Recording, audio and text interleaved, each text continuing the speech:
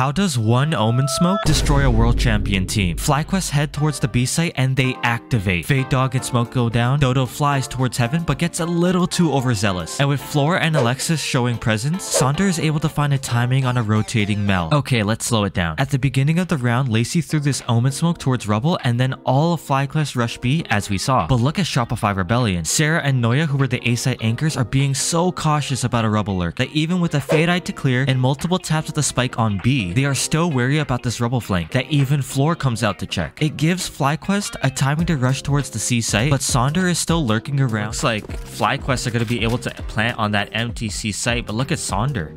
Sonder's way behind them. Are they even going to clear? Shopify Rebellion, all of them are in C-Link. I think Floor knows. I think Floor is going to check. But Sonder, Sonder is going to get that headshot. Overheal going in as hell. But look at Lacey. Lacey's on that B site and Sonder's still in their spawn.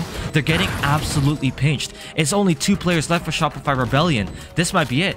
This might be the match. This might be the end. Getting headshot. It's done. Starbound with that double. Okay, I want to talk about something. As you can see, it was my voice attempting to cast that last bit of the round. And that's because these matches weren't casted at all. This match gave FlyQuest the qualification to participate in the North American main GC event and eventually have the chance to qualify for the GC Championship in Berlin. So as you can see, this match was pretty important, but it also marked the fact that this is the first time that FlyQuest have beaten Shopify Rebellion. So I think this is also a big deal. But the fact that these matches had no casters, very little production, no analyst desk, no host, at least they had an observer, so shout out to that person. But it's not like we need VCT champion S tier casters, but there are so many good A and even B tier casters that would have loved to cast this game. I would have even casted this game for a Riot gun buddy, but I'm not that good at speaking yet. If Riot wants game changers to be taken seriously, they gotta pay attention to the details.